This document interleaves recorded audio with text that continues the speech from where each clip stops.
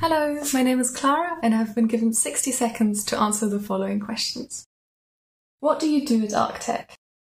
I'm currently a master's student studying psychology of language, um, and I'm currently also working at ARG-tech where I will start my PhD this autumn. What are you currently working on? I'm currently working on my master's dissertation, which is an online experiment looking at the role of causality in discourse processing.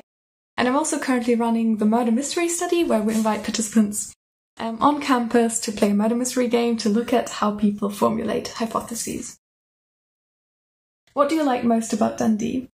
What I like most about Dundee personally is the art scene because I love theatre, cinema, anything arts related, and Dundee's really up and coming when it comes to that. Who do you think would win an argument in the group? Um, well, I think there's a difference between who would win the argument and who would have the best arguments, um, but ultimately I would fall in the latter category.